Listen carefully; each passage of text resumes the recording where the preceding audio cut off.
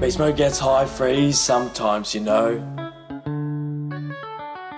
What else can he do when his team's so low? Bev got the dogs to a better place. Hopefully it stops boys punching Cordy's face. The Legends games a cracker. Big Chris Johnson goes a whack, and I don't feel that bad for Acker at all. Dennis Cometti is retiring, and I'm wondering who they're hiring. Surely BT and not old Dwayne Russell. And there's a joke that won't let go.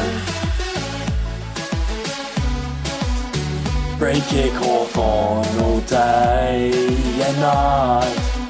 Please don't go hoax.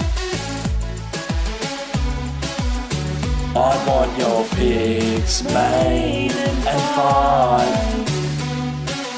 How was the smug look on Dangerfield's face? Next year on the field, he'll need a neck brace. Patience, you cat fan, success does await. Once you look at the list in 28, the bye came in to stop all the boring games. The AFL tried, but it did miss its aim. Watching the last round, I did get so bored, but it was still better than Suicide Squad. Leper, he got fired.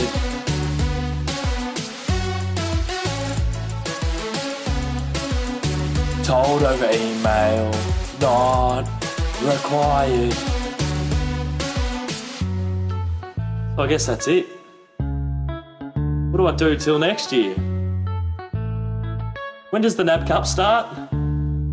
Jesus.